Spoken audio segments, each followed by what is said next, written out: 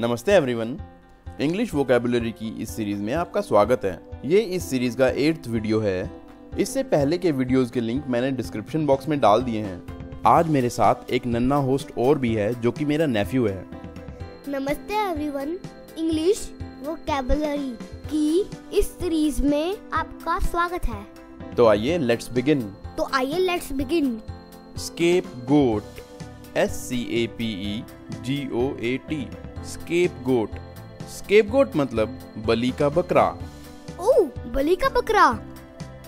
आइए इसका English pronunciation सुनते हैं।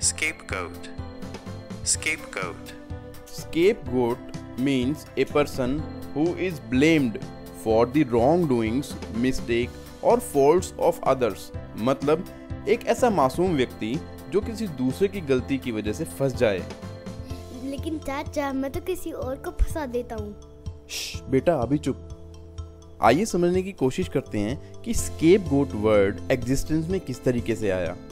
सबसे पहले इसको बाइबल में यूज़ किया गया, जहाँ पर एक ऐसा रिचुअल और अनुष्ठान किया गया, जिसमें एक बकरे को डेजर्ट में छोड़ दिया गया। और कहा गया कि प्रतीकात्मक रूप से इसराइल के सभी लोगों के गलत काम और पाप इस बकरे के साथ डेजर्ट में चले गए हैं और अब सभी लोग पवित्र हैं।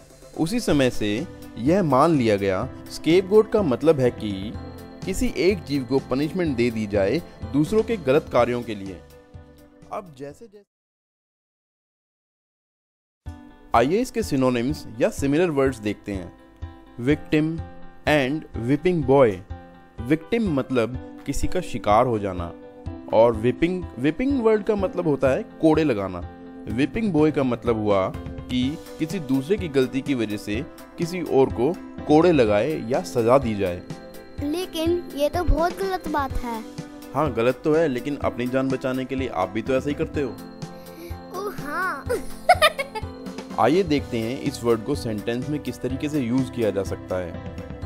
The CEO was made the scapegoat for the company loss मतलब कंपनी को जो लॉस हुआ उसके लिए सीईओ को जिम्मेदार ठहराया गया।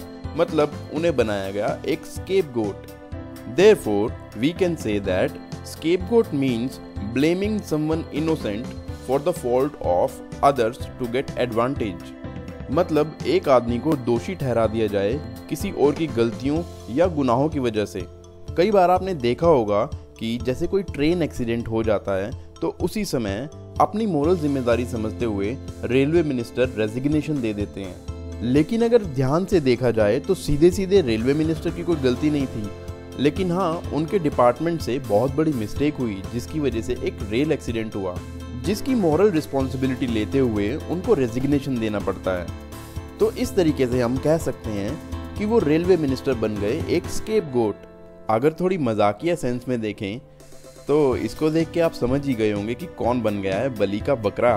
ओ ये तो गया काम से। तो ये था एक्सप्लेनेशन स्केप गोट वर्ड का। अब आप किसी को भी ऐसी सिचुएशंस में कभी देखें तो स्केप गोट वर्ड का यूज़ बखूबी कर सकते हैं। अगर आपको वीडियो यूजफुल लगा हो तो आप मेरे चाचा का चैनल सब्सक्राइब कर सकते हैं। सब्सक्राइब कर रखे हैं।